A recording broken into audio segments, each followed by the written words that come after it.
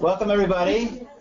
Hello, my name is Barry Taylor from Equip for Equality, and uh, welcome to those of you who are in the room and also those of you who are watching on the webinar. Uh, today we have a very interesting topic, something we've never focused on before, uh, called trauma-informed uh, advocacy.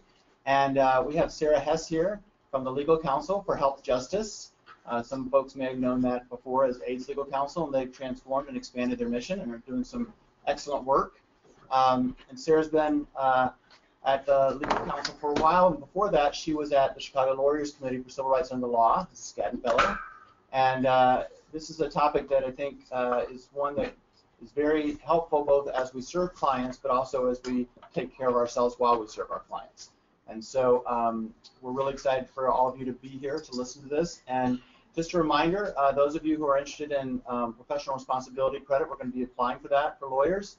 Um, we'll definitely get CLE credit, 1.5 hours, but hopefully we approve for professional responsibility credit. I think this topic certainly uh, falls within those guidelines. Those of you who are watching the webinar, the way for you to do that is just to send me an email after the session is over at barryt at equipforequality.org and uh, confirm that you watched the whole thing. And uh, those of you who are in the room, make sure you sign in. And uh, then we'll follow up with you with your certificate once we get approval from uh, the MCLE board. So with that, I'll turn over to Sarah. Hi, thank you so much for having me. Um, thanks, Barry. And so we're talking about trauma-informed advocacy. I'm really going to try to get to the practical tools and really talk through those today. Um, so forgive me, we're going to kind of tear through the first part. Um, I'm doing two things with two hands, so I, we're going to see how it goes. Um, so today we're going to talk about an overview of trauma and symptoms. Uh, we're going to get into practical tools and we're going to do a short role play. Don't worry, I'm not going to call on you. Um, and then we are going to talk about secondary trauma in the helping professions um, and talk about some tools for self-care. Um, so first, uh, I just wanted to see from folks in the room who is familiar with the ACEs study already. Okay, great. All right, so we will we'll get everybody up to speed. Um, two, there it goes. Okay. No, didn't do it. Okay. Uh, so we're going to start with ACEs. Um, I don't know if this is a tease or if I'm going to spare you, but the epigenetics and the hard science and the really super science is not going to be um, a large portion of today's presentation. Uh, but first, I just wanted to ground this um, in the trauma-informed practices that are happening nationally. So there is a movement happening. Um, even SAMHSA, the Substance Abuse and Mental Health Services Administration, has put out guidelines on how to be a trauma-informed practice or organization.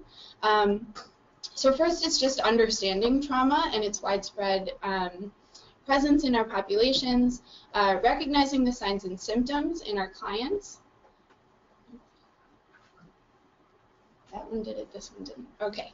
Um, and then trying to really integrate that knowledge into not only our direct services, but also our organizational policies and procedures. Um, and ultimately, we're trying to resist re-traumatization. Uh, so those are sort of the bare bones. Um, and then just to, to sort of give you the, the context, the National Child Traumatic Stress Network is very helpful for resources as you delve into this stuff. Um, but here in Illinois, we have a pretty robust um, set of folks working on ACEs and trauma. So the Illinois ACEs Response Collaborative, the Illinois Childhood Trauma Coalition has tons of great resources. Uh, the Center for Childhood Resilience at Lurie is doing some really great work, and you'll see resources from each of these groups through the slides today. Uh, so first, I just want to, I'm going to harp on this a little bit, um, but as we delve into ACEs and trauma, you mentioned the word Is it an acronym or a word, ACEs? It is an acronym, sorry. It's the Adverse Childhood Experiences Study, and I'm about to give you all of the background on that. Um, uh, but essentially, as we talk about adverse childhood experiences, the most important thing to remember and take away um, is that we're talking about risk factors. We're not talking about things that are a certainty. We're not talking about um, outcomes that are guaranteed, right? This is a population health. This is a higher level look um, at, at people's experiences and those experiences impact on health outcomes. Um, so it doesn't mean that as I talk to an individual, I can predict their future, right? We're just talking very high level. Um, but the reason that's useful is because as you provide these services to your clients, keeping that lens is going to help every client, whether they've experienced adverse childhood experiences, trauma in their past, or not. So let's go to, I'm going to give you a short video, um, and or where is the video? I got it here. Uh, and this is from KPJR Films, and they did a fantastic film called Paper Tigers. It's a documentary on a high school in Walla Walla, Washington, um, that has adopted a trauma-informed approach. This is going to give you the basics of the Adverse Childhood Experiences study um, and what came out of it. Turn the lights. Make it easier to see it.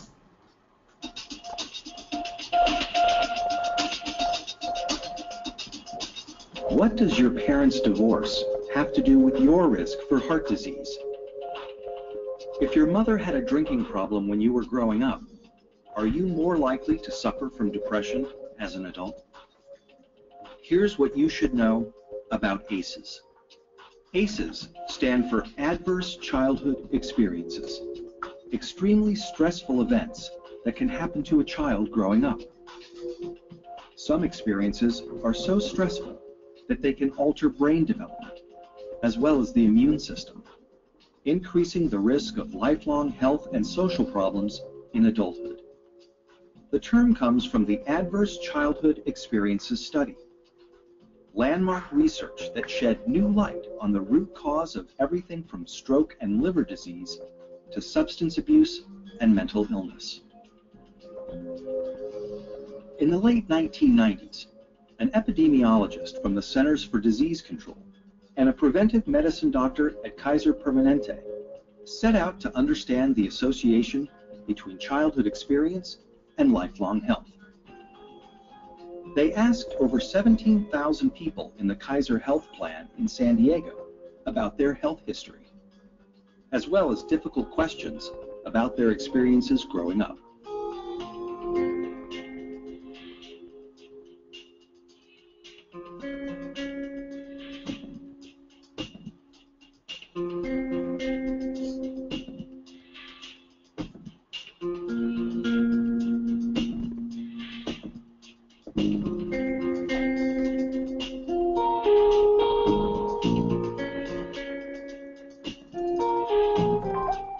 Anda and Felitti tallied up 10 different kinds of adversity in this largely middle class and college educated population. They were stunned to see how common ACEs were.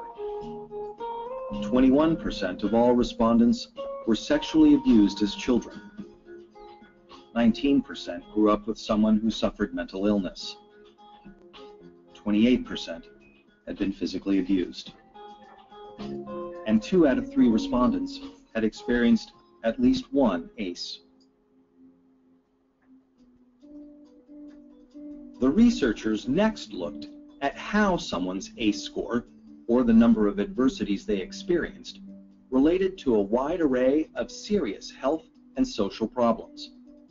They saw that the more ACEs someone had, the greater their risk for poor outcomes compared with someone with no ACEs.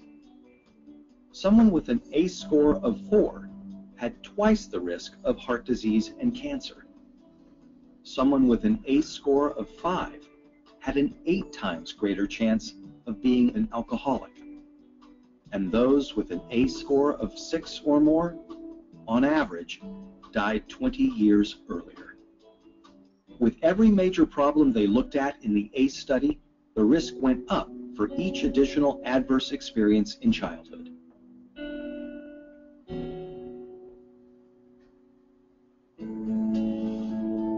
As Dr. Robert Anda says, what's predictable is preventable. It's important to remember that ACEs are not destiny. ACEs are a tool for understanding the health of a population as a whole. For individuals, an ACE score can be a tool for understanding their own risk for health and social problems and empower them to make changes for themselves and their children. ACEs tend to get passed down from generation to generation and are common across all income levels, races, and cultures. But increasingly, people of all different professions and backgrounds are coming together to discuss how ACEs affect their communities. They're finding new ways to treat and prevent ACEs. Many doctors are starting to screen their patients for ACEs as part of their medical history. More schools are becoming trauma informed, considering the source of problem behavior when disciplining their students instead of immediately suspending or expelling them. To learn more about interrupting the cycle of adversity and improving health and well-being for the next generation, please visit kpjrfilms.co. Thanks. Okay. Did I turn to here? Yeah. This you bet. Uh, so you can tell they say that better than I do. Um, uh, but I do recommend Paper Tigers as well as a film. It talks about the educational viewpoint um, on ACEs and trauma. Um, and what we found, um, here we go, um, is that identifying adverse childhood experiences and early childhood trauma um, then leads or can lead to um, neurodevelopmental and epigenetic influences, social, emotional, and cognitive functioning, risky behaviors, um, disease, disability, social problems, right?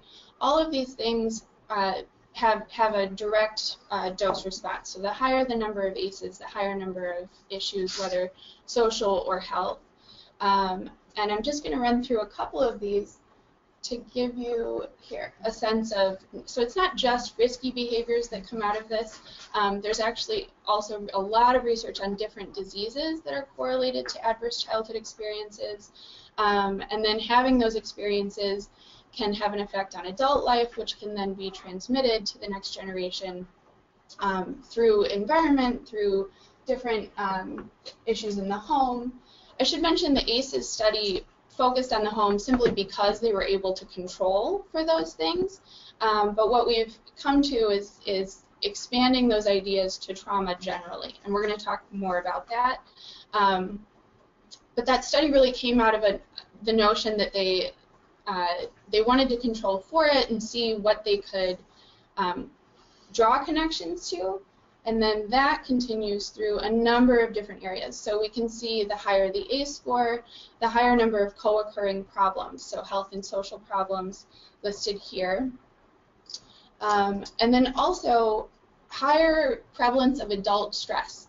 Um, so this slide shows that family or adults with three or more ACEs in their past um, are also more likely to experience adult stressors. And then they, they looked at major stress categories here. Oh, I'm sorry. Here. Thank you. I'm happy to. Um, easier, I think. if you could, Sure. yeah, I'm, I'm having trouble Right. doing both. That's. Um, uh, so homelessness, incarceration, chronic illness, things that are very stressful in adult life, um, also can predict ability or disability across the month.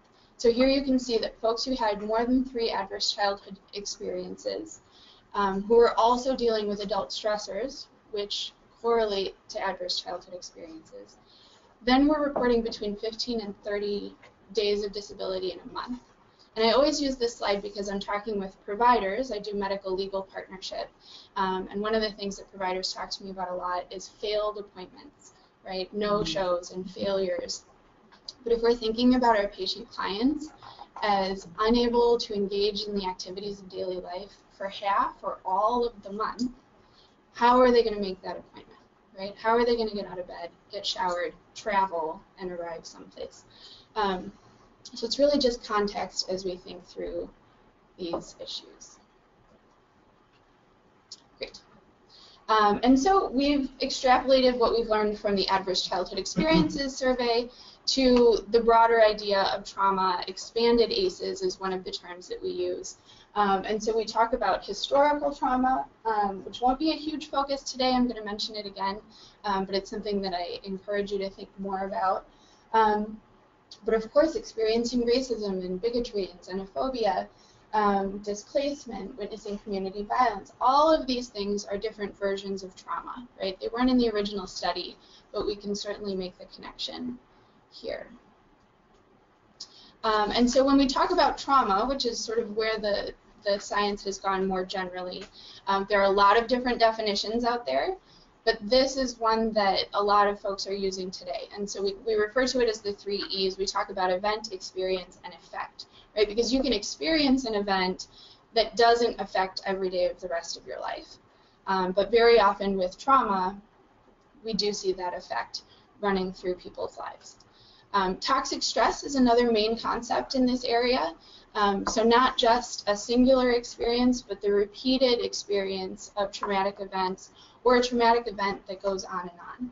Um, so you can imagine we talk about the classic example of the child welfare system, foster care, um, where someone doesn't have a protective adult or a protective factor in their life, and they're constantly hypervigilant, they're constantly on alert, they're constantly in fear. Um, that's an example of toxic stress.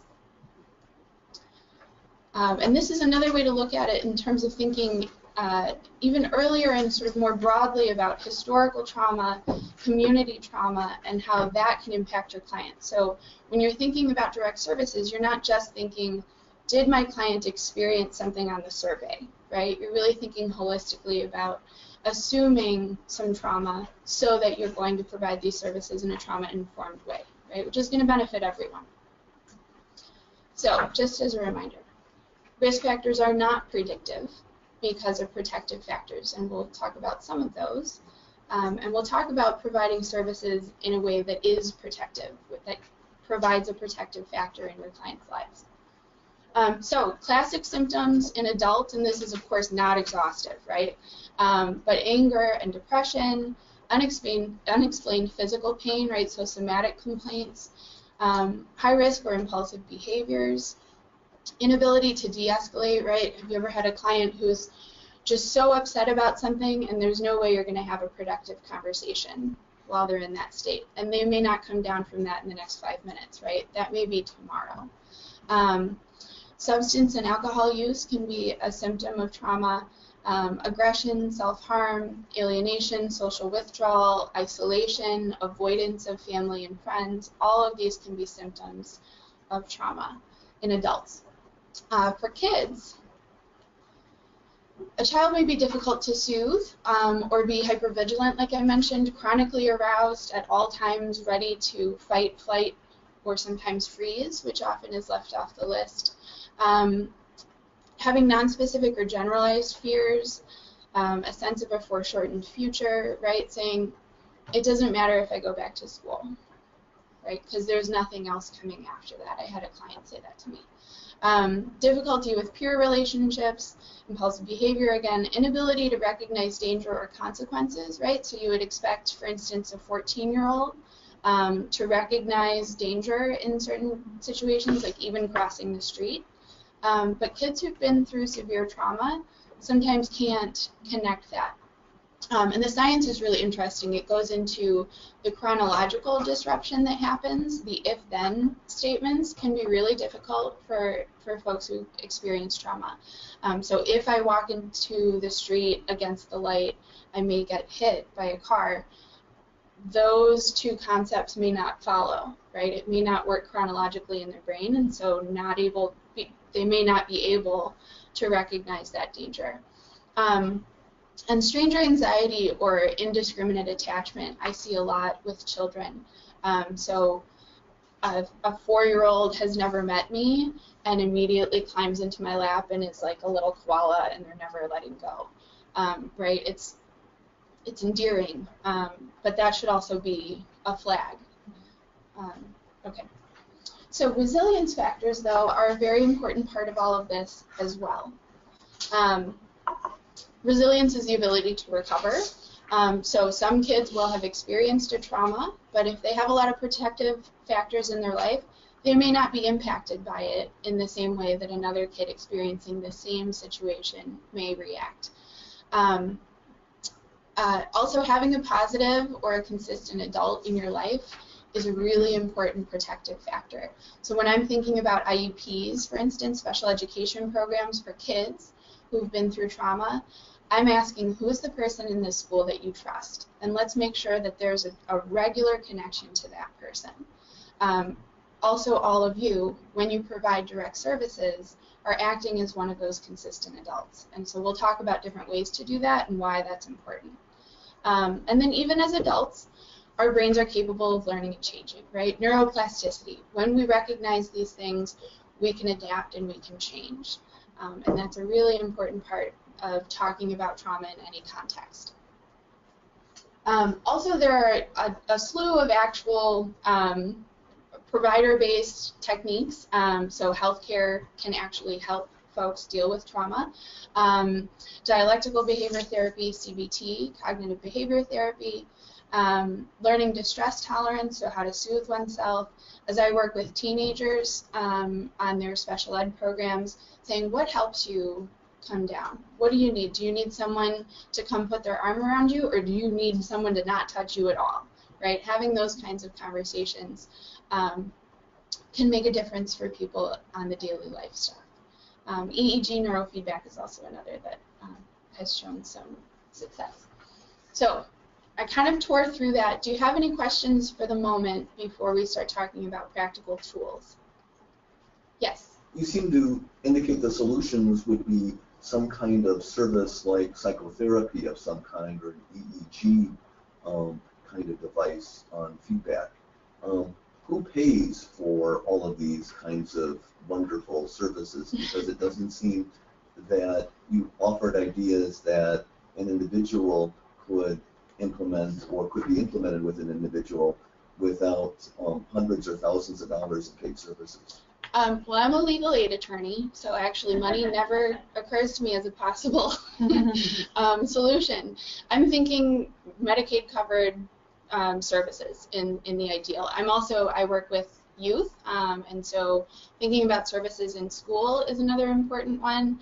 Um, the Children's Research Triangle here in Chicago provides excellent trauma-informed services. They have a wait list, but they do provide um, grant-funded free services to youth. Um, and of course, mental health services in, in Illinois, hard to come by, um, right? But that is the ideal. Is trying to find some some mechanisms for dealing with it. For adults. Well, there's mental health services for adults in Illinois, right? But it's I know a trick, and I know the wait lists are sort of endless. Um, uh, but I guess that's part of the challenge, right? Uh, so let's keep going if that's okay. Uh, so first, as we think about practical tools um, for being trauma informed, we don't want to screen unless we're going to do something with that information, right? So if it's not central to the representation, there may not be a benefit to knowing the trauma of your client's past. Um, a lot of health providers have actually started screening for this because then they can start thinking about somatic complaints that may be connected to something else where there's no diagnosis and they've been working on something for ages without a solution. Um, but I think in the legal services we need to be very uh, cautious about when and why we're asking about people's trauma. Um, but it does give us a chance. We can be very flexible in how we provide these services. We can adapt our systems and design new ones that are trauma informed. Um, and then the refrain in the trauma-informed community is you don't have to be a therapist to be therapeutic. So we're going to talk about exactly how to do that. Um, so the aim is always not is to avoid re-traumatization. Um, and in my practice, we aim to mitigate the causes and consequences of trauma. Um, we do that with legal services. Um, so you want to think first about where is trauma in your representation. Is it central to your representation? Are you um, representing uh, domestic violence survivors where the trauma is part of the representation? Or are you doing eviction defense and trying to provide services that are trauma informed but don't require you to delve into your client's trauma history? That's the first step. Um, so again, you don't have to be a therapist to be therapeutic. Uh, and here we go. So for, first, establishing safety. Um, considering the physical environment of your office is very important. Um, being uh, thinking about your client's view, right? So we we just set up at Legal Counsel for Health Justice um, our reception and our two client interview rooms and tried to be really trauma informed. So we've got um, part of being trauma informed for us was also trying to differentiate from uh, health provider exam rooms because our clients are always dealing with health issues, right? So we've got nice lighting, we've got plants, we've got shelves. You never see wooden shelves in an exam room, right? Um, so we really try to make it a welcoming environment. We've got a lot of art on the walls. Um, those kinds of things are important from the client's view.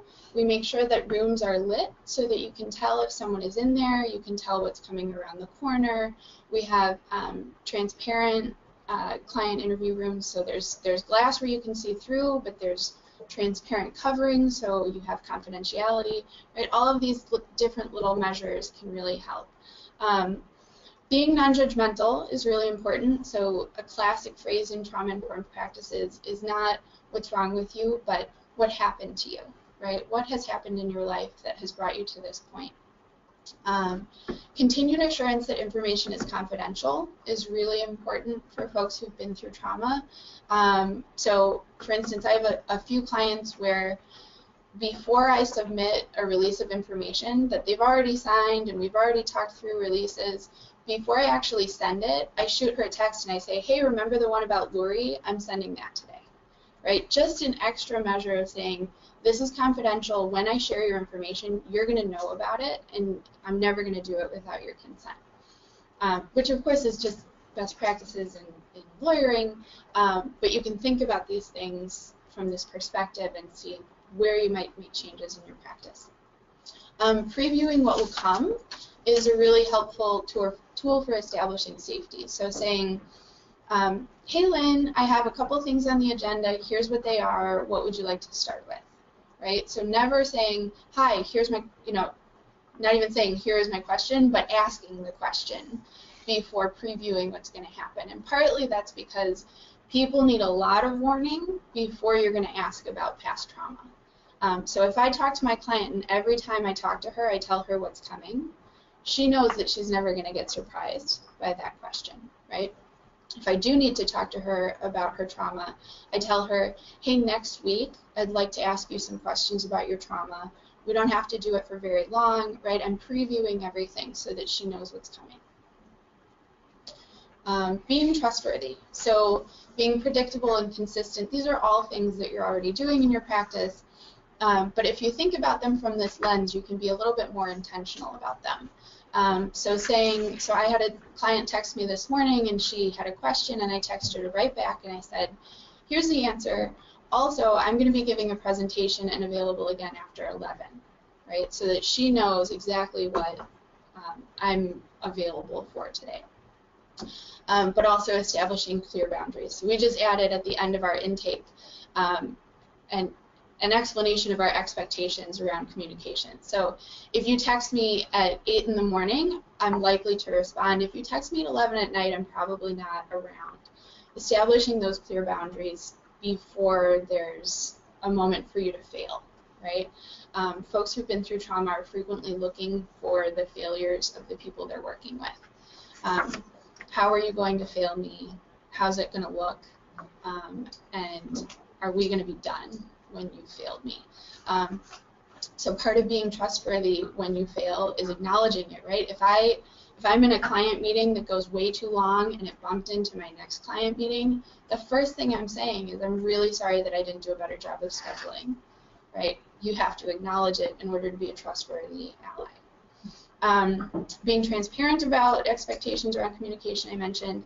Um, not sugarcoating, right? That's another failure of trust if you don't understand how important something is to me, then I don't believe that you that it's important to you as well, right? So not sugarcoating, never saying at least, right? At least you have your health. Well, that doesn't help what we're talking about. Um, and then finally, keeping promises and not over-promising. This is just a struggle in lawyering um, and the helping professions, I think, but something to keep in mind. Um, providing choice. So I mentioned earlier when I call clients, I give them the agenda, I preview the agenda, and then I let them choose what we're going to talk about. So today we need to talk about the SNAP appeal and the next IEP meeting. What would you like to talk about first? What should we tackle first? Always providing choice on as many things as possible. not with the purpose of overwhelming and saying like every time we talk you're going to have to make a huge decision, um, but giving clients who've experienced trauma a little bit more autonomy and control over the situation. Um, laying out different paths to get to the same goal, um, and of course recognizing that the goal may not be the same as the legal goal, um, but giving that credence and starting with that and having conversations about the legal goal from the perspective of, I know our priority is X, and so here's what I think you can do. Here are the different options for getting to X. Um, never telling a client you have to, right? That removes all choice. That removes all autonomy. Um, and then preserving uh, preserving choice even when someone is having a tough time. So um, I had a, a 14-year-old who uh, was going through a whole lot. He was the client. Um, he was an unaccompanied homeless youth, and and he just like threw his hands up and was like, "I'm done. Like, don't come back. Don't talk to me anymore. I'm done." And I said, "Sure, okay, I hear you. I know this is a tough time." Um, let's have that conversation next week. And if that's the choice, then that's the choice, right? So preserving some of that choice, but also not letting not letting the client succumb to the stress of their trauma at the same time, right? So balance. Um, okay, being collaborative, right? So we frame every case as a partnership. You and I are going to work together on this. Um, asking open-ended questions is really important. So not, I think we, you know, it's very easy to get into our advocate brains um, and need this particular information and try to rush through and try to get someone to answer a specific question. Um, but we always try to start with open-ended questions and just letting the client, um, you know, letting the client talk. So maybe a bit of steering, but mostly we're really trying to um, let them be an active participant, and that means letting them talk without interrupting. Um, let's see. Um, so acknowledging the client's perspective, as I mentioned um, on the last slide as well, is part of being collaborative. So always grounding it, uh, always grounding our conversations in the client's priority, because that's the only thing we're collaborating on, right? There may be other things that come into it, but that's always the, the root of what we're doing. Um, and then in terms of being collaborative, one of the things that we don't want to do is put all of the um, all of the recitation of the trauma, if it is central to your representation, on the client. So being collaborative can also mean I'd like to talk with your mental health provider so you don't have to tell me this whole story. Um, and I'm going to look at the records when I can so that we don't have to go through this every time because I know you've told this story a bunch of times already being collaborative can also mean looping in other people.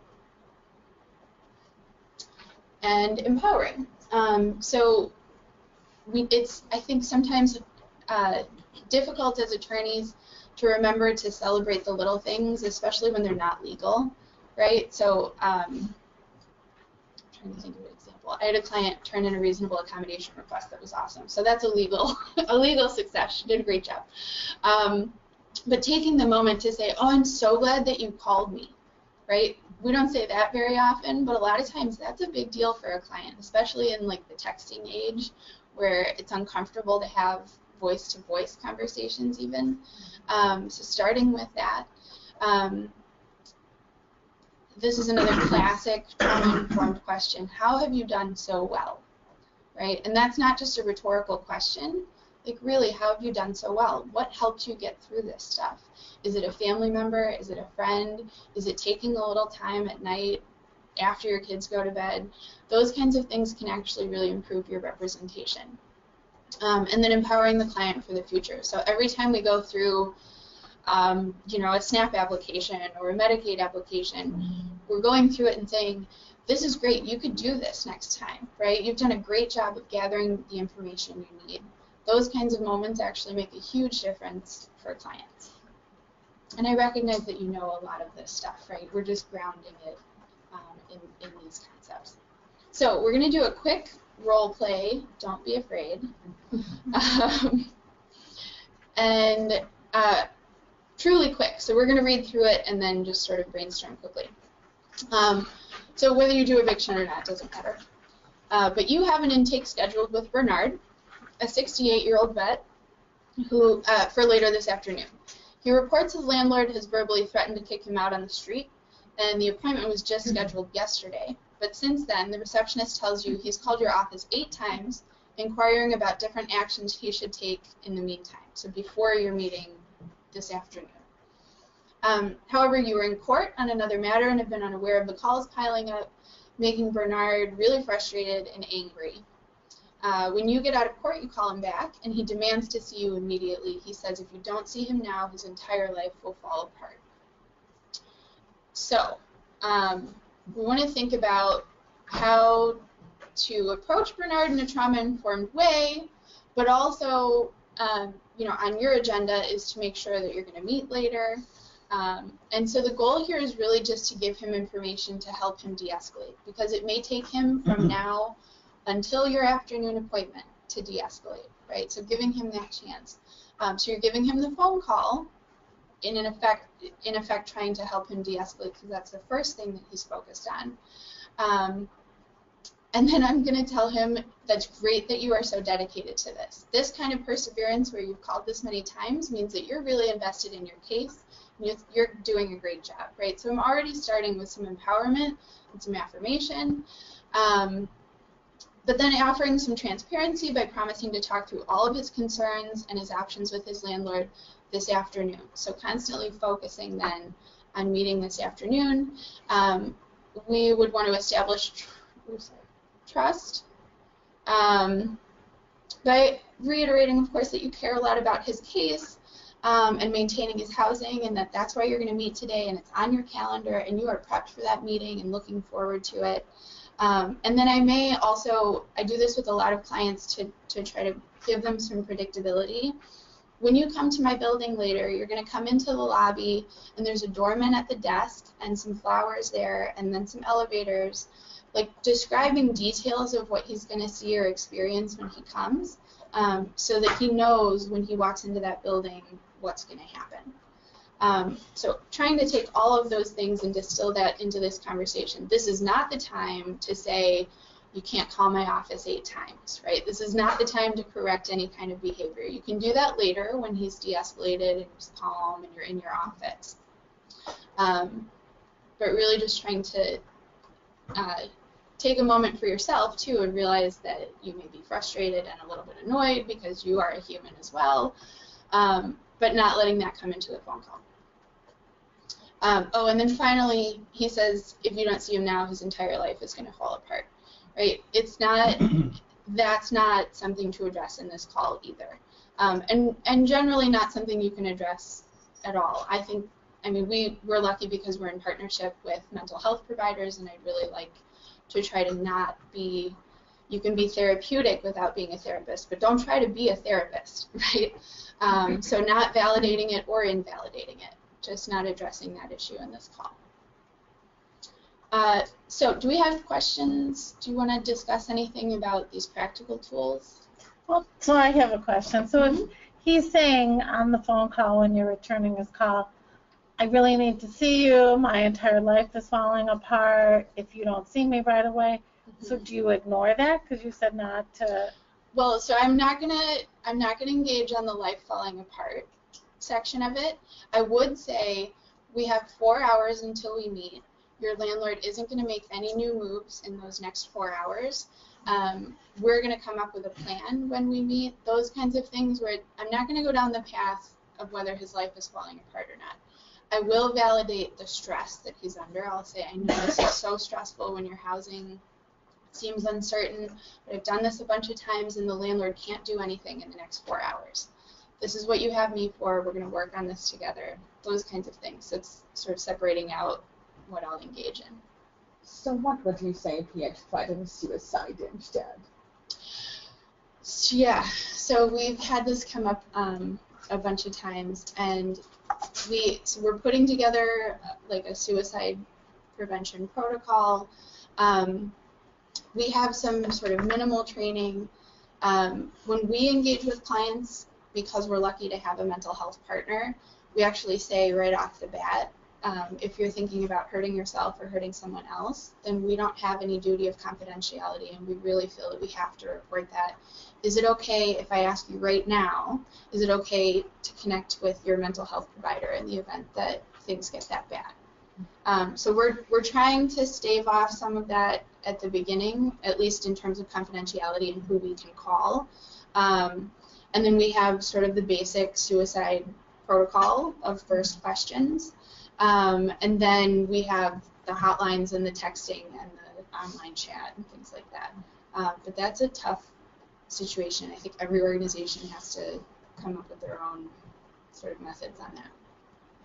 I mean, I think just following up on that, I think a lot of times when you say something like, you know, I'm taking you seriously and I'm going to, Mhm. you know, connect you with a suicide hotline for somebody who's trained to do this. I'm a Yeah. lawyer. I'm not trained to do that. Oftentimes that might be a situation. Okay, well, we'll deal with that later. You know, what I mean, it, it's Yeah. not that you're calling the bluff, but you're by taking it seriously. Sometimes they use that as a manipul- manip- manipulative tool. So. Right.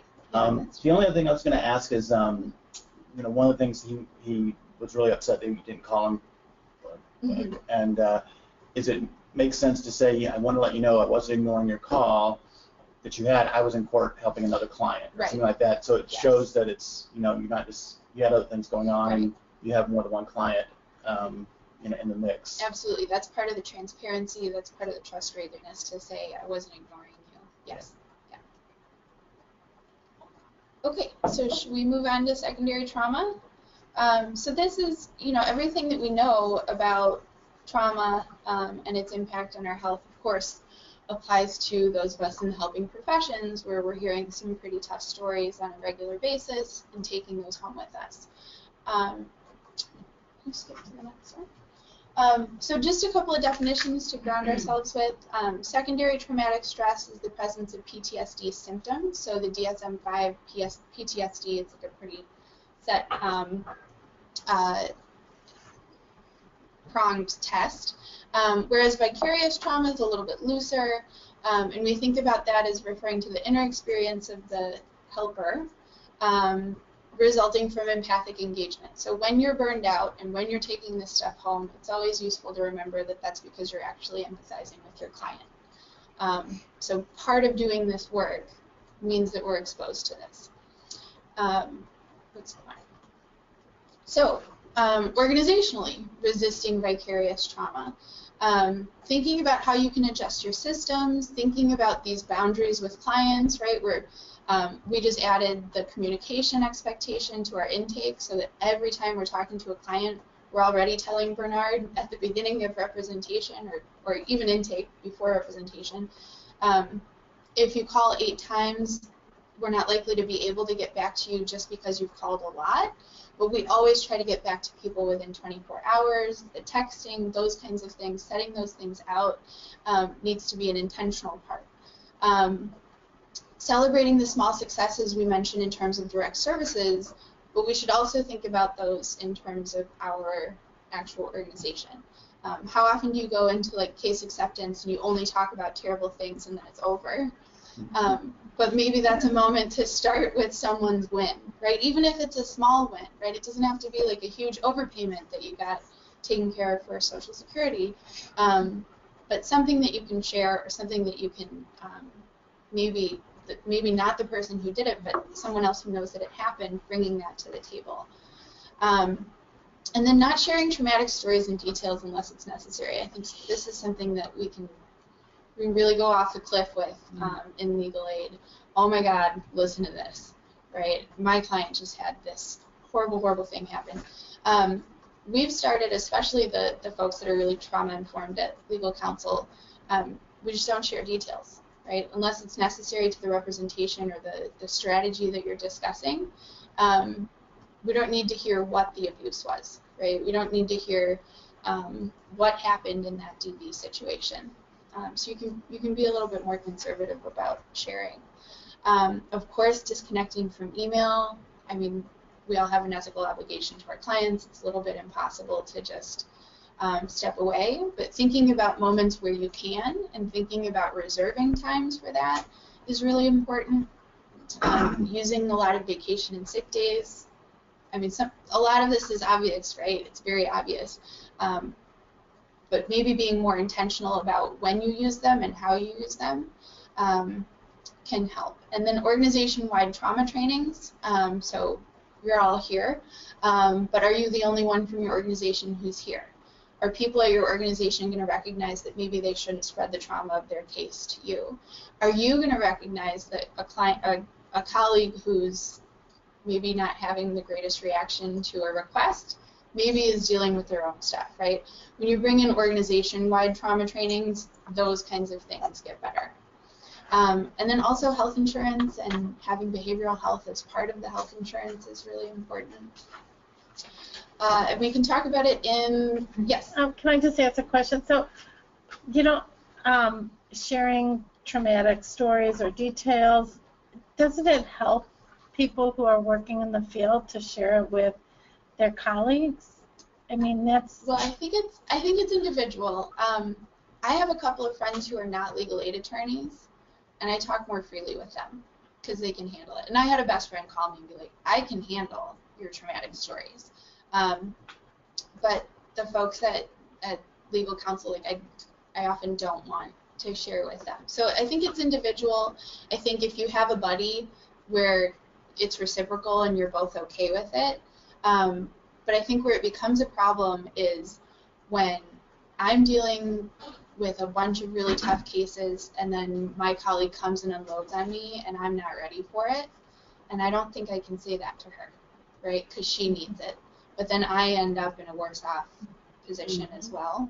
Um, and so that's where I think being careful about when and how you do it is important. Um, so it, it's going to be case by case, of course.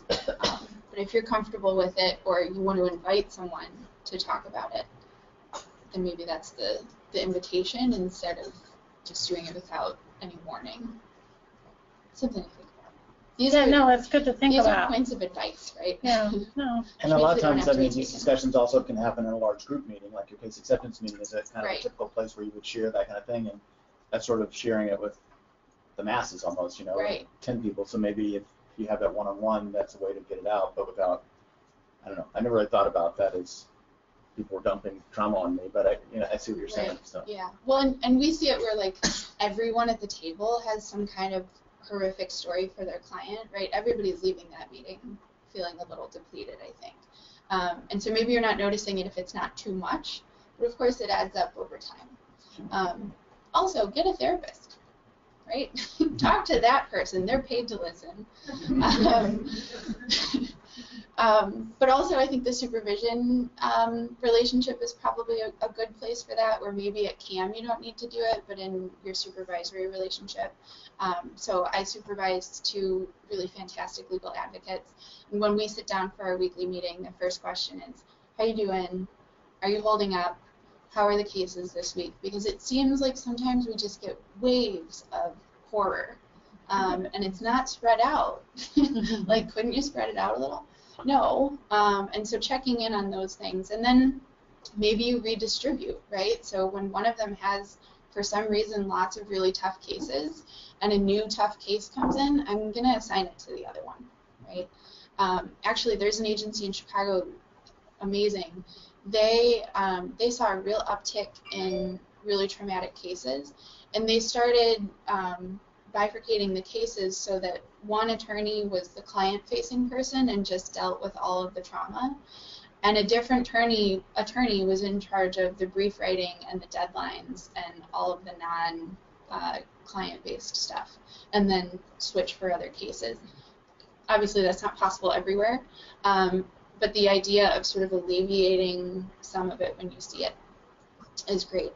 Um, and then I think part of being a supervisor is modeling those methods of self-care and, and really showing that. So I'm still writing emails at midnight, but I'm trying to just leave them as drafts and sending them in the morning, right? Because there's some implicit stress in receiving an email from your boss that they sent at 12:30 at night, right? And feeling like, damn, I wasn't looking at email.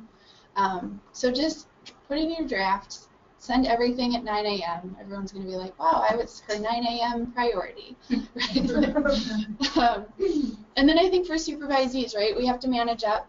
Um, we have to think about this in terms of self-care um, and not be ashamed of it and not be ashamed to ask for some help. So like if everything is really too much, maybe you need a sick day or maybe you need to suspend intake, right? Those are pretty drastic. Um, but maybe you can talk to your supervisor about certain cases that you're really having trouble with. Um, my supervisor said to me, she was like, wow, Sarah, DCFS really messes with you. And that was a moment when I was like, oh, yeah. Like, I deal with all kinds of cases, but the DCFS cases, for some reason, really, like, are a knife to the heart for me. So now we're a little bit more careful about when and how I get involved in those and whether maybe it's a better referral. Um, so lots of ways to think about it. Certainly long-term career goals, like thinking about are direct services meant for you? Um, and if they are, and this is just still really hard for you, what are the long-term mechanisms that you can put in place to sort of protect yourself? Also get a therapist. um, and then finally, uh, some methods for self-care. Again, self-care stuff is always kind of obvious, but I think we're not intentional enough about it sometimes. Um, and so one thing that's really helpful is de-traumatizing with a similar group. So I work with kids with uh, chronic health issues, um, but I was a ballet dancer first, and so I teach ballet. I just sub. It's not like a weekly thing, but I substitute teach, and I hang out with a bunch of kids where we're not talking about their health issues, right? We're talking about plies and tendus, and there's a different focus. um, because part of what happens when we work with populations that struggle is then we start to think that everyone struggles like that. Um, I was a, an example, but I um, I volunteered in an orphanage in Guatemala for a long time, and by the end of my time there, I saw a family, like a nuclear family with a mom and a dad and two kids, and it was like I couldn't process it. My brain forgot that that existed, forgot that that was a thing. Um, and so sometimes, like, even now, my friends are having babies, and I'm like, you can't have a healthy baby. Like, why, you know, oh my gosh.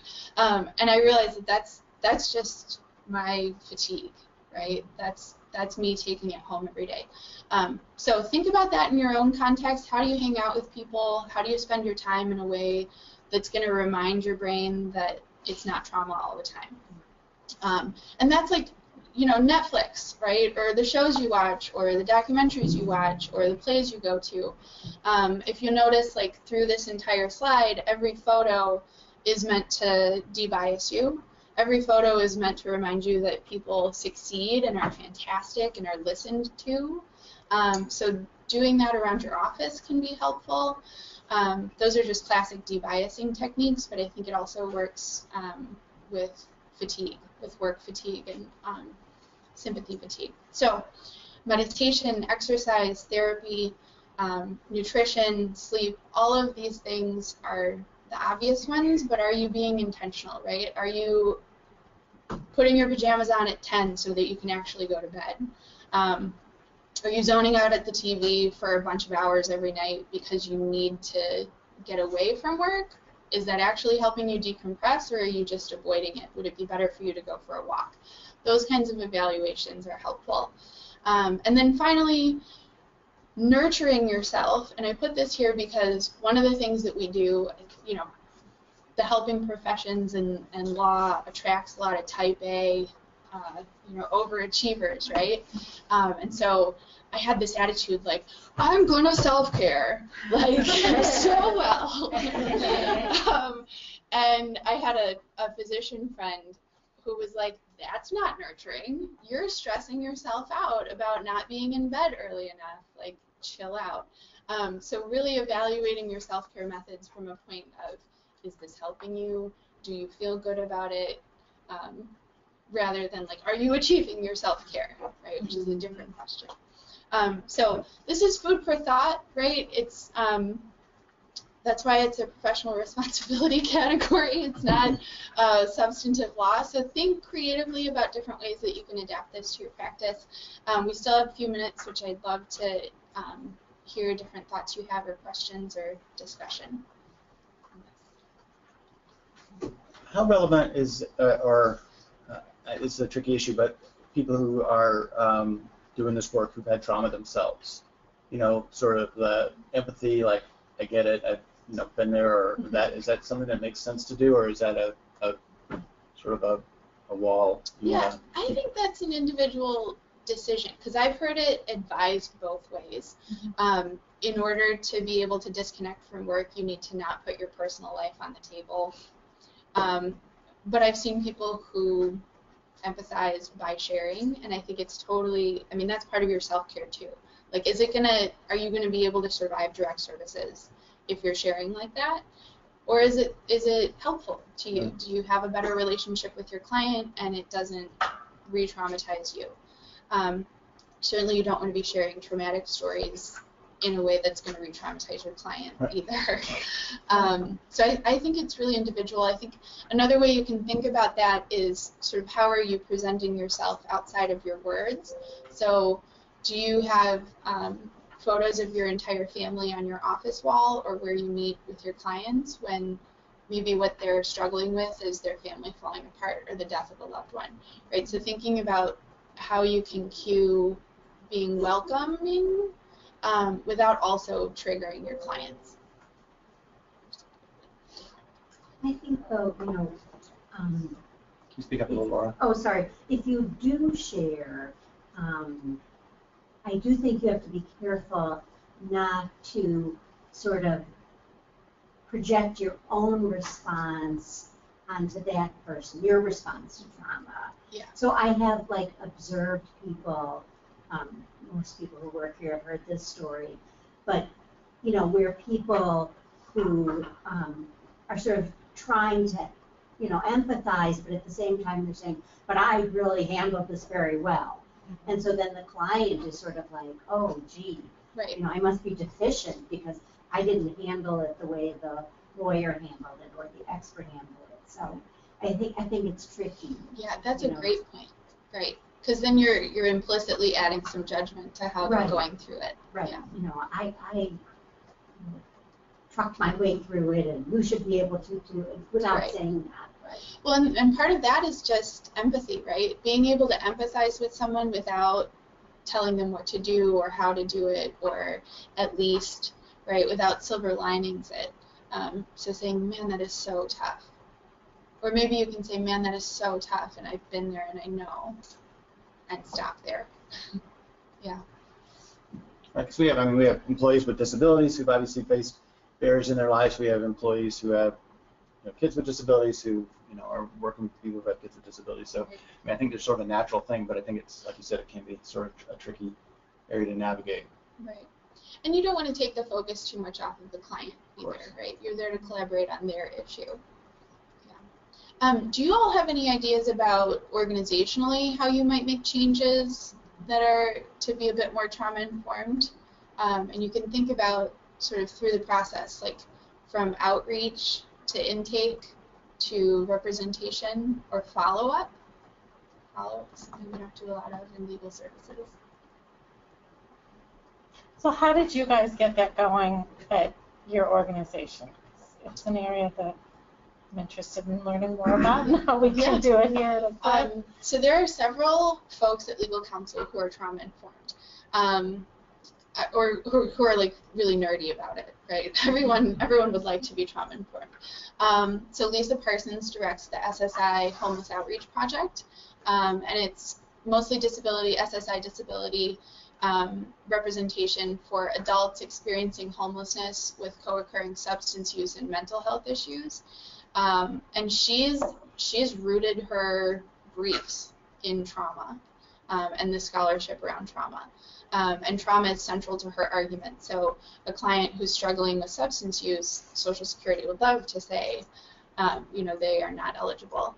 Um, but she can root the substance use as a symptom of childhood and adult trauma. Um, and so it's central to her argument.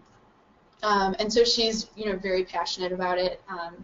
And then we've got um, also a legal advocate who's also also a social worker who's really dedicated to it. Um, and then we have a project at Under the Rainbow, um, which is Mount Sinai's outpatient children's behavioral health clinic. Um, and so her practice is entirely focused on trauma. It's very often um, DCFS involvement or child custody issues, um, abuse and neglect.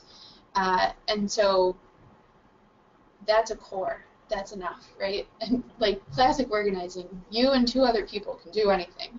That's so that one person can quit. Um, so a little core, um, and then mostly I just kept like presenting um, literature on how to make the space trauma informed. So it's little, you know, it's partly volunteering. um, but I think these these trainings can make a difference just to start, and I think a lot of people need to hear the trauma science more than once before they start to accept it or recognize it. Um, but talking about some of these symptoms, because when we went through the symptoms, you've all had clients, right, who have those symptoms. Um, so maybe that's a way to start getting people to flag and recognize um, trauma. I think there are a number of different ways to do it. So when you talk about the legal brief, Mhm. when she's doing that, is that based on sort of, you know, just what she understands, or is that like getting an expert to link the two? Right. Yeah. It no, seems like you she's would need- she's citing to the scholarship. Yeah. Certainly. But I mean, Um, is it an expert for that particular person, or is she just saying typically if somebody had substance abuse, they had? Right. So, um, so she's using the trauma scholarship and then connecting it to the medical record use, usually.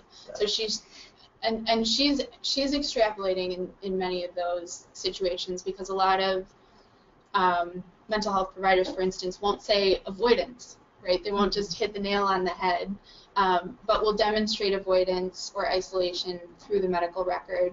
Hasn't talked to family in 11 years. Hasn't talked to friends. You know those kinds of things. So you're you're making the connection. Um, I don't think she's brought in an expert. Uh, So there's not an individual analysis that establishes a correlation between the two events, is that correct? Well, she's drawing that in the brief, in general. Yes, but it's an association, not a correlation, correct? Well, are you trying to correlate the adverse child experience or the trauma to the symptom? Is that your question? Because someone sustained this experience that has led, that has caused X. Mm-hmm. Right, and I think there are a number of ways to do that. I mean, I've read briefs where the client said that, right? The client said, I have to drink because otherwise I'm just going to, you know, they're not going to use this word, I'm just going to perseverate on my experience of X.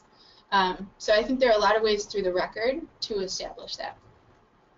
And being creative, right? I mean, these are sort of new arguments, um, but she wins lots of cases. Great. Yeah.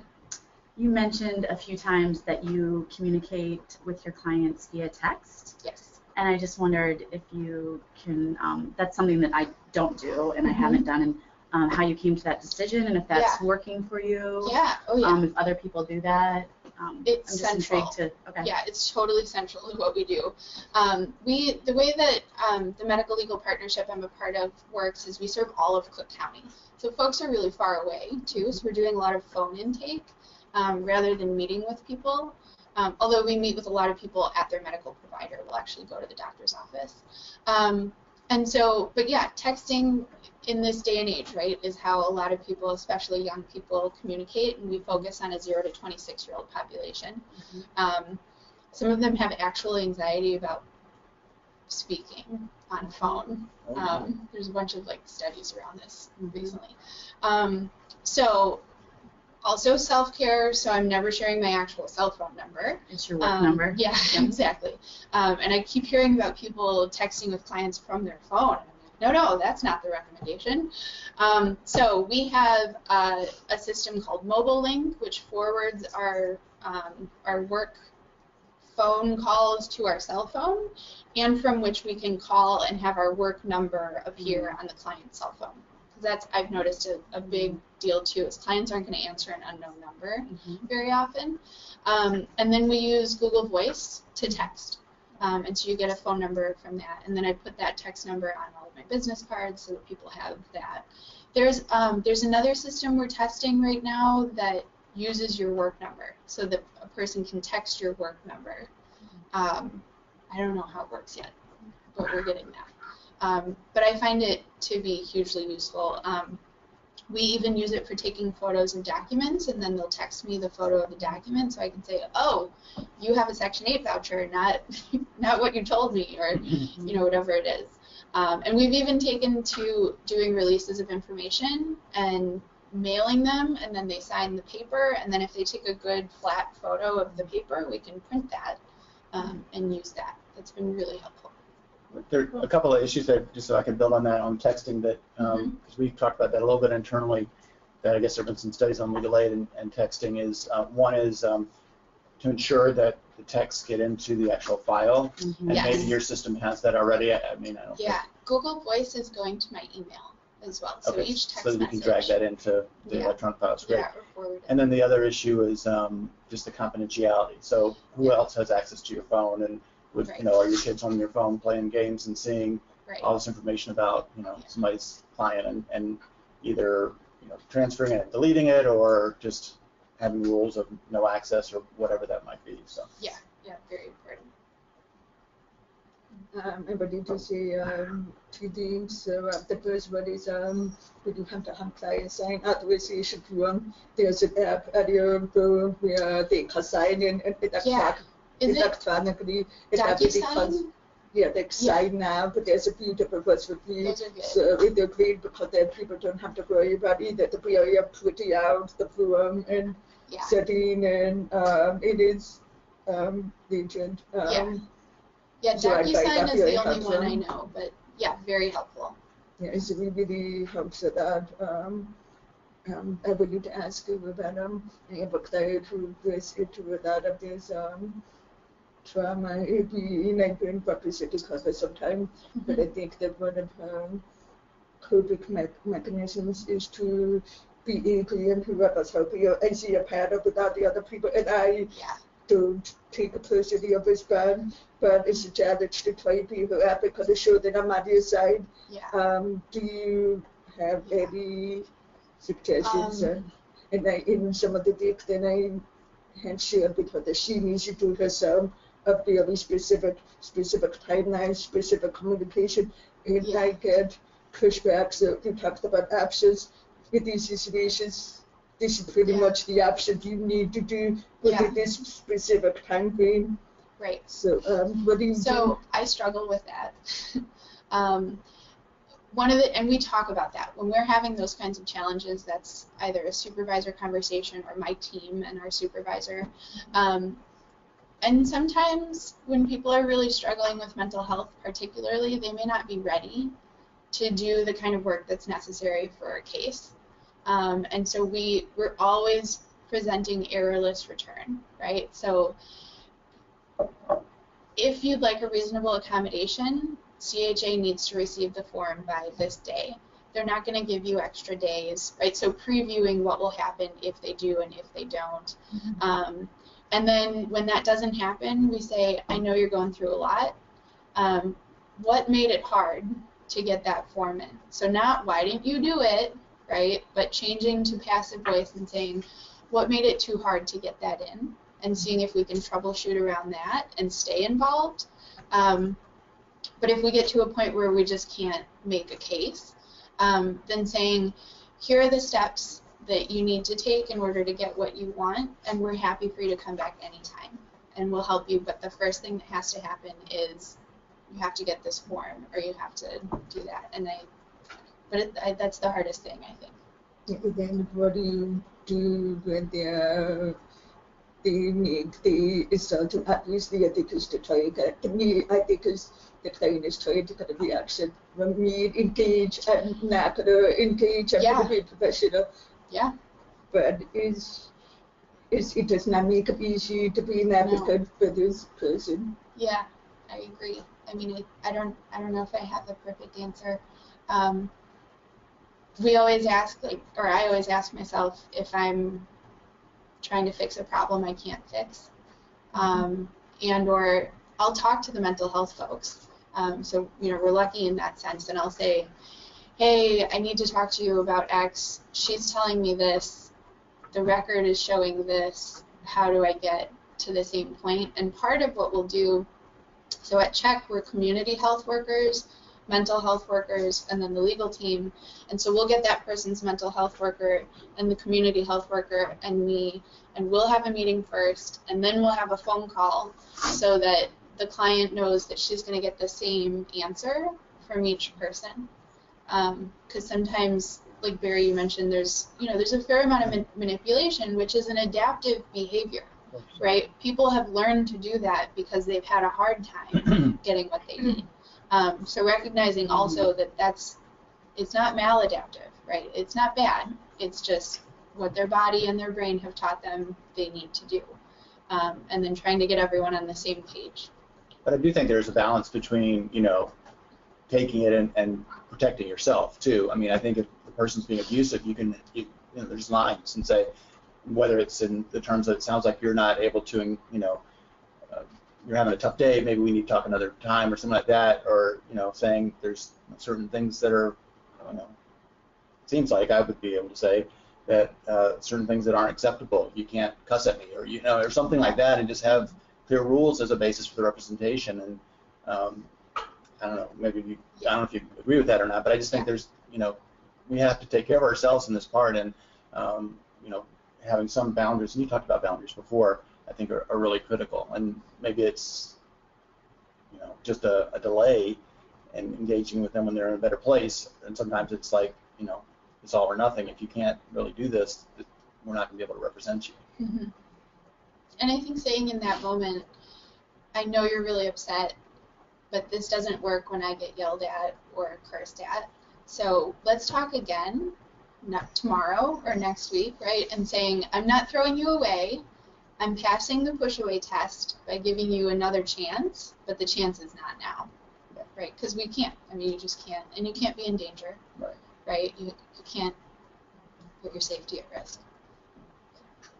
Um, So I do um, a lot of intake, and it's often difficult to, I think, sort of a balancing test for me to kind of figure out um, as someone is divulging a lot and you're giving them the personal space and allowing the venting and, and what they need to do. When you're hearing parts of what they're saying and you think, my gosh, this is an awful story, we probably won't be able to help you. Not because we don't care, but because this is something we don't know what how Yeah. how to handle it and everything like that. So I think I kind of balance or I, I struggle to balance how am I transparent and upfront in terms of managing the expectations so they don't think um, necessarily that we can help, but also so that I don't want us to be another resource that they've told their story to and they feel like it's just Right. ignored. So do you have suggestions for and, and I sort of try to triage it. If someone's crying and you know having a very difficult time, I don't think that's the appropriate time to say, well, we might not be able to help you. But if someone seems to be talking about it, perhaps um, maybe more rationally or clear-headed, I sort of give them that upfront. You know, I, I really want to help you, and part of helping you is directing you to resources that might be able to help you better than we can. Right. Um, yeah, I think that's a struggle. It's something we, we work on a lot. Um, the nature of our partnership probably gives us an opportunity that maybe if you're doing like cold calls, are you doing cold call intakes essentially? They're they're callings. Yeah, we Yeah. voicemail. so you don't have any preview, you have no warning about what the issue is. Sometimes we have a little, and sometimes it's consistent with that. Other times it takes a whole other Right, direction. then, yeah, Right. right, yeah, Yeah. it's totally different issue. Yeah. Um, well, one thing we've been trying to do is not go through the entire intake process if we know that there's an issue we can't handle. So, like, we're not going to do med mal, Right. you know, um, child support and child custody. We don't have the bandwidth for, but we've created a document of instructions and sort of helpful hints and resources. Um, so when we have those cases, uh, we say right away, and we try not to collect information because we don't want to re-traumatize, because we don't want people to have to tell a story 18 times, right? Your clients hate it when they've told the same story a ton of times, and then you tell them to tell it again. Um, so yeah, I mean, I think it's tough. Um, maybe some kind of upfront screening um, before you delve into everything could be helpful. Um, I don't know. Are there other ideas around the table? I mean, I'm I'm still learning all this stuff too and thinking about organization. And then Megan's call here. Mhm. Um, one thing I do, and I do a lot of abuse and neglect. Speak up a little, Leslie. I do a lot of abuse and neglect and exploitation here, and so and a lot of people who have um, diagnosed with mental illness. So it isn't always possible to do it this way because th- this isn't how the person communicates. But sometimes when you're on the phone calling somebody back for intake, they immediately start spilling everything out. And and, and if I can, I say, just stop for a minute, and, and we'll get to that, but I don't want you to have to share personal information. I want to first kind of jump to the end of what your request is, so I can make sure it's something that might fall into something we can help with Yeah. before I start collecting a lot of really private information about you. Not everyone is capable of doing that because some people need to tell things in the order they need to, and a lot of times they will tell you that. But a lot of times they will say, okay, well, what I want is this, and then I know, okay, that is something we could potentially help with, so let's let's keep going. Yeah. But if they say it's MedMal or something like say, well, I know that that's something, um, you know, based on what you're describing, we're unlikely to, so I, I'm going to get some more limited information to make sure, but not Yeah. have them spill their whole story so they feel exposed. But um, once you're past intake, um, your example reminded me, um, some when when you have a client or existing client and you know they leave a lot of messages, what I have found helpful is to tell them when you leave a lot of messages, it, it will never be the case that I'm sitting there watching you call Right. Right. and um, and ignoring your calls. Um, if I am not calling you back immediately, it is because I'm not able to. Either I'm away in court, or I'm dealing with one of my other um, cases that are that are important, and yours is too. Um, and if they're saying, you know, but I want to talk to you two hours early, I find it helpful to say, I've cleared my schedule for you because it's that important, so I can give you my undivided attention, and I'm not able to give you my undivided attention right now. But for one particular client, I think um, sometimes people are calling and calling because now they're, it's kind of like, I don't know, like swingers. You know, they leave the message and then they're worried about how it sounded, so they are escalating things, you know? I mean, it's not exactly, but you know what I mean? They're like, oh no, I need to call back and fix that, but they're worried. Um, I had one client who kept, um, she wasn't like physically, but, but kept saying, um, she became more and more insulting in like the 10 messages. And then when we talked, I discovered it was she thought because she had been really rude in one message, she thought I was going to sabotage her case. So I, you know, once you explain, there, even though what you said was not appropriate, there's nothing you could ever say, even if you, you know, that, um, I didn't actually give her an example. I was thinking, uh, even if you said this, but you know, right. there's nothing you could ever say that would ever make me sabotage your case, and it would never be okay for any lawyer to sabotage your case. Um, and and that, that helped, but so those are That some sounded very that I needed to other ideas is that I notice people often refer people on, um, like, um, you know, people from the community on to other service providers or other organizations who they know very little about. And um, I know that because I get a lot of people who actually have a civil case, um, and we handle criminal cases only. So, um, so, so part of it is understanding, you know, is there, you know, what, what the situation is, is it, can, can it be handled legally, I work, and, and is it of a criminal nature?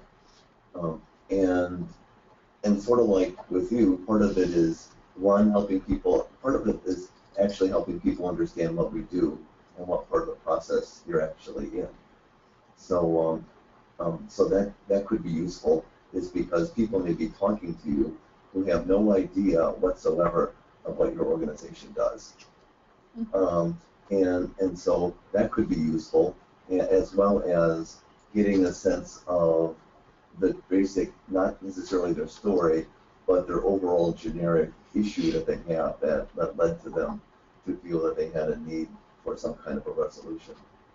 So, um, so that would be the other, as, as Lauren mentioned, some, something to not go to, all the way to the end, to think about, um, to discuss the con, um, issue a little bit in more global terms, to know, is that a category, um, your organization actually assists with?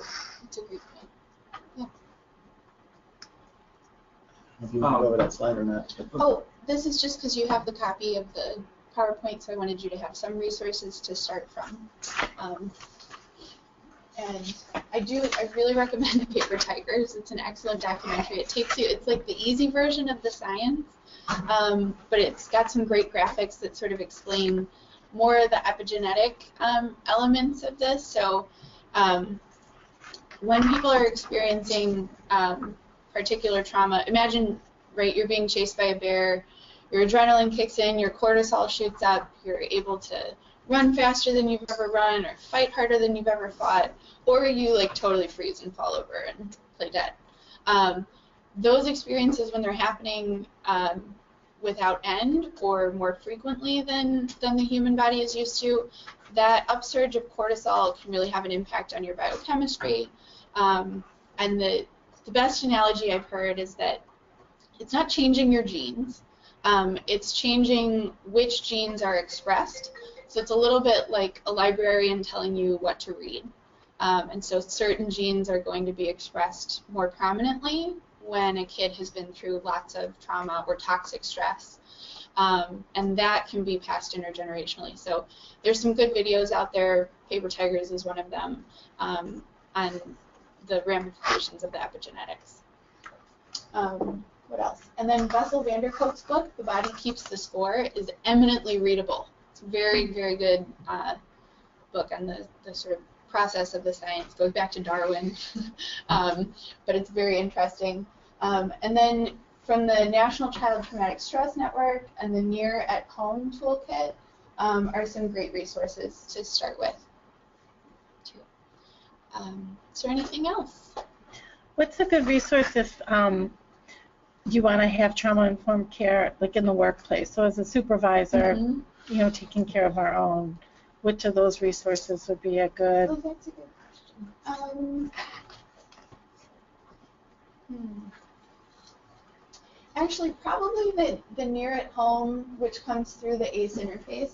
Laura Porter um, is a fantastic um, ACEs researcher. Um, also, YouTubing some of her talks.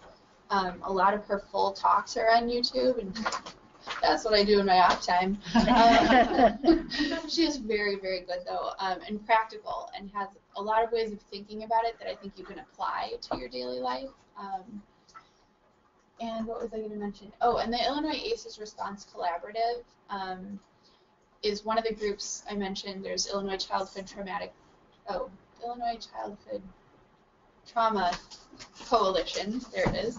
Um, uh, and then the Lurie Childhood uh, Center on Resilience. All of those have really great talks, um, and I think that's one of the best ways that I've sort of recognized how I can incorporate this this information. Um, is hearing people stand and talk and sort of talk through organizational issues or things like that. Um, the Illinois ACEs Response Collaborative is having a full day event of lectures um, on, on uh, October 24th. So if you're interested, um, maybe just email me. My email is on your handout, um, and I can Yeah. get you that info. Okay, thanks. Yeah. Any other questions for Sarah? And thanks for the conversation. I mean, you can tell this is really something that it, it's worth discussing, and it, that's where you get a lot of your ideas. Well, Thank thanks very much. Yeah.